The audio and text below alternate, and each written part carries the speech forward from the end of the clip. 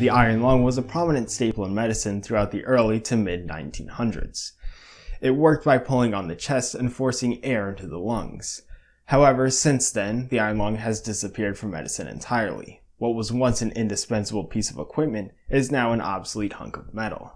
What could have caused such a dramatic shift in its use? Well, to find out, we're going to have to go way back in time to visit a very important man by the name of John Mayow.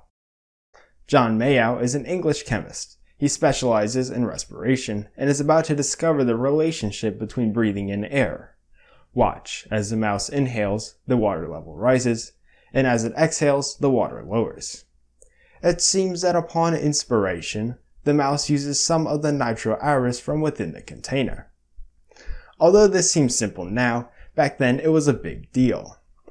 Unfortunately, that's all we hear from John Mayow because he died five years later at the ripe old age of 38. Fast forward 158 years, and we meet another John, Dr. John Dalziel. He notices that patients experiencing breathing difficulties could be assisted in their respirations by applying negative pressure to the body. To put this realization into practice, he constructs a big box. Attached to it are piston powered bellows connected to a valve to evacuate the box of air. The person would sit in the box with their head exposed, and then the box would provide a rhythmic vacuum that expanded the chest, drawing in air into the lungs. This is Dr. Lewins, and he wants to put Dalziel's invention to the test. Lewins puts some poor sap who drowned earlier that day into the box, then lights some candles under the man's nose. Very scientific. Despite the ridiculousness, the experiment worked. The man was able to blow out the candles with the assistance of the box. However, that's about all the action that Dalziel's box had, because it was more of a proof of concept if anything. So, let's move on. Dr. Ignaz von Hauke is an Austrian doctor with a different approach to applying negative pressure to the chest. Rather than creating a large box, he made a device that only attached to the chest. This device applied constant negative pressure, so the chest was always expanded. To bring air into the lungs, he applied constant positive pressure via face mask. Overall, the system allowed for a larger chest capacity that was constantly full of air. Eventually, he realized that non-constant pressure worked better, which motivated him to create another chest-mounted device. Then yet another realization strikes him. It didn't work too well on kids, and it was kind of hard to strap someone in while they were flailing around. So he goes back to the tried and true method of the box. Instead of sitting, the person was able to lay down. How relaxing. About a year later, and a couple countries over, Dr. Woillez develops his own tank respirator. Hawk found out about this. He can't believe that Woillez is getting all the credit as creator of the tank respirator, where it should be he, Dr. Hawk, basking in the praise. He accuses Woillez of stealing his invention, but not much comes of this. So, poor Hawk never got his credit. But here's to you, Hawk. You did good. With the turn of the century, the Wright brothers are working on aviation, Ford is mass producing cars, and The Wizard of Oz is released. Things are looking good, but something isn't quite right. There is a mysterious paralytic disease that is on the rise. Its name, poliomyelitis, or polio for short. This brings us to an outbreak in South Africa. Polio is rampant and causing respiratory failure in Dr. Stewart's patients. To combat this, he decides to create a respirator to help these people. It covers half the body and seals around the pelvis with wax. It is fitted with an electric motor, meaning that manpower is no longer needed. Instead, we can let electricity do the heavy work. And with the motor, pulleys and belts are added, allowing for variable pressure and respiratory rates. Armed with his new invention, Dr. Stewart is ready to save some lives. Well, he would have been if his last patient hadn't died six hours ago. Better luck next time, Stewart. Now, this is where things start to pick up. Over to America. The Consolidated Gas Company of New York asked a couple of Harvard, yeah, Harvard, engineers to produce a respirator. And they do.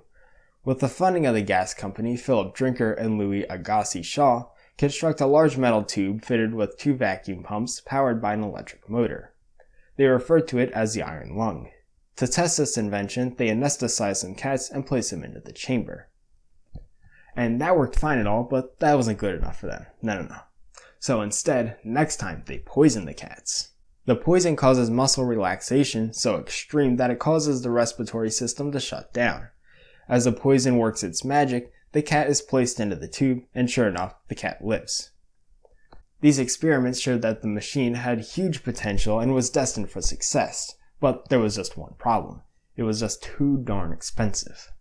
Cue John Emerson. He liked this new invention, but he saw some potential improvements that it could benefit from. He replaced those noisy vacuums with something quieter, added some fail safes like a manual pump for when electricity went out, and a dual leather diaphragm so if one broke, the patient wasn't doomed. He simplified the mechanism that modified respiration rate and made it easier to open if there were an emergency. With all these improvements, you would think that the price would skyrocket, but actually Emerson was able to do quite the opposite. He slashed the price in half. It costed a grand total of $1,000. Keep in mind this is the 1930s, so that $1,000 translates to about $16,000 in today's money. But hey, any saved money is good money. Uh oh, Drinker is back and he doesn't look too happy, and it looks like he has a lawsuit in his hand. No matter, Emerson can handle this. He basically says you can't put a patent on a life saving device. This argument works so well, in fact, that not only did Emerson win the case, but he invalidated all of Drinker's patents. Now that is a power move. Six years later, we run into a familiar situation. It's another polio outbreak but this time southern Australia is affected. Their health department asks both Edward and Donald Both to create an iron lung that wasn't so expensive. The Both brothers actually declined this offer, and no, I'm just kidding. Of course they accepted it and got to work. But with such a strict budget, why would you waste money on expensive materials like metal when you could just use plywood? This ingenious idea not only cut prices by 80%, but it also made it more maneuverable because it was now lightweight. And with polio reaching pandemic levels, Both's iron lung couldn't have come at a better time. Mass production began two years later. Moth respirators were being pushed out left and right, lining up against hospital walls all over Europe. Demand was high, and it would remain high throughout the 1950s. Meanwhile, polio vaccines are being researched and distributed. The initiation of mass vaccination prevented further polio infections. Polio was finally on the decline. Good news for the world, but bad news for iron lung manufacturers. A sharp drop in polio patients meant a sharp drop in iron lung sales. Also, positive pressure ventilation was gaining traction again with the advancements in intubation.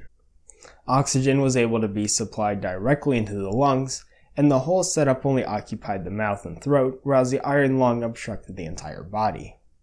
Although negative pressure ventilation was a non-invasive procedure, the new positive pressure method was more practical and cost effective. This is pretty much why the negative pressure ventilator is no longer in use. Like all technologies, there will come a day when a new invention pushes its predecessor into the void of obscurity, binding it to a life of museum displays and cartoon gags. Alright, that's all. Big thanks to the person that made it to the end of this video. You're the true hero here. If you want to check out my other videos or social media platforms, that will be down in the description. If you have any suggestions for future videos, you can leave that in the comments, and feedback is always appreciated. But until next time, this is Klahn's Clinic, and that is the outro music.